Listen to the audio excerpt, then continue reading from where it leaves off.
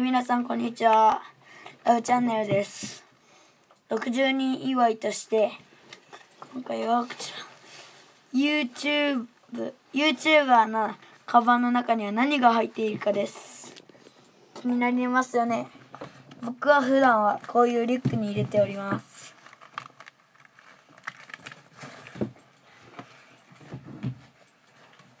紹介するとね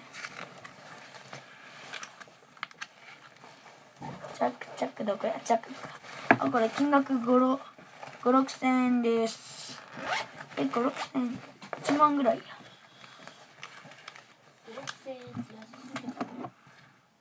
普段こういうカメラとか携帯とか僕はえー、っと DS とか。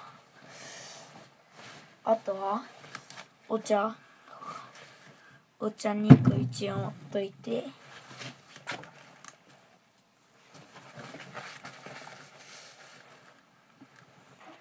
とあとは？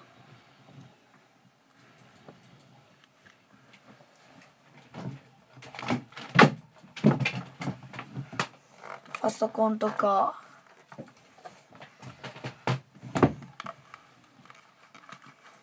あとは基本小学生なんでてか基本じゃない。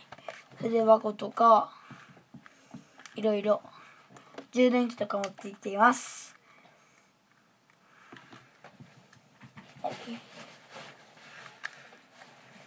これだけ紹介してもちょっとつまんないと思うんでちょっとネタ変えよ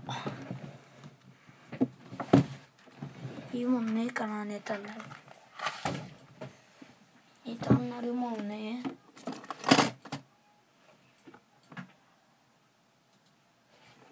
うん